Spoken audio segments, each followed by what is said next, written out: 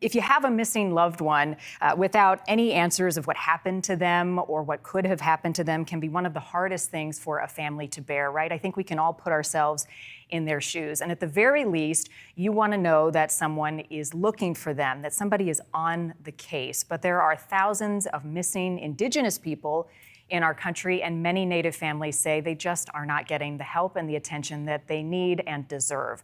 So, this morning in our Missing series, we're going to introduce you to a group of women who are doing everything possible to bring those families answers. I want to share that story with you now, and then we'll talk about it afterwards.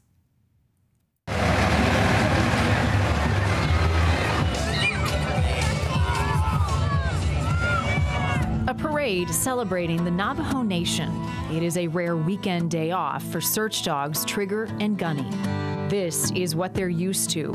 Weekends spent scouring the breathtaking and dangerous landscapes of America's tribal lands, searching for missing and murdered Indigenous people.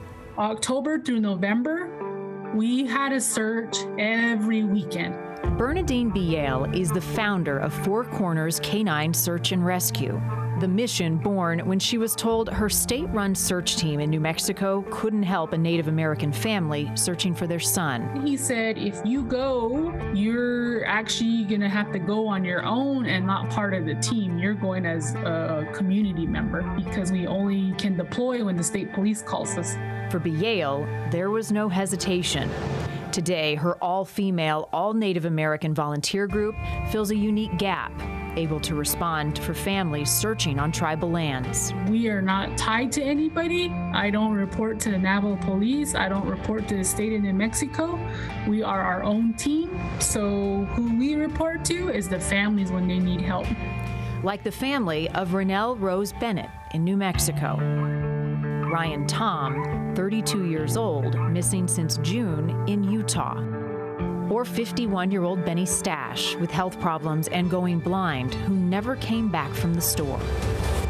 We searched for him for a day and a half, and we had no clue where he went. Trigger and Gunny with GPS collars tracked on a map a sad conclusion. His remains just a quarter mile away. Once the dogs got started, we found him within 45 minutes. I was very happy that they were there to help the family out and mm, how would you say like a closure for our family Beyales and her team now being invited to speak at schools and to tribal police groups. It's an everyday thing. Every day after work, we go out and train on something. Explaining what her team does and how they can work together. Beyales's parents were both Navajo police officers. That's where my passion came in it is how can I help these families and law enforcement uh, bridge that gap? She spends nearly all her free time and most of her paychecks on the expensive search missions. She's hoping to add a drone and more trained volunteers, covering all 27,000 square miles of Navajo Nation, and sometimes other reservations when called. All in hopes of chipping away at the thousands of unsolved cases of missing Indigenous people and bringing families the answers they're desperately seeking.